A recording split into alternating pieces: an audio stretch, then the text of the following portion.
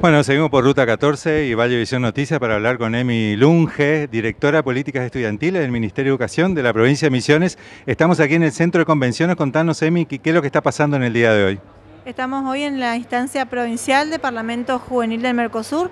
Recordemos que los chicos participaron de 230 escuelas, de las cuales 130 pasaron a la instancia provincial, con más de 3.000 estudiantes que han participado, de los cuales 300 hoy son parlamentarios escolares.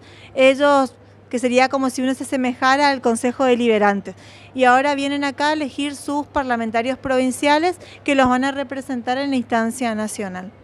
Estuvimos recorriendo un poco las instalaciones de, este lugar tan grande que tiene el centro de convenciones y los chicos están todos en ronda justamente deliberando.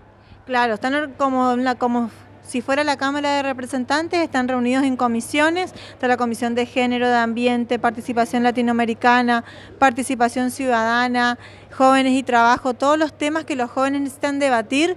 Acá presentan las problemáticas que ellos tienen como jóvenes y cuáles son sus propuestas de aquellas leyes que ellos creen que tienen que surgir o políticas de Estado que tienen que, fortalecerse para poder garantizar los derechos de ellos.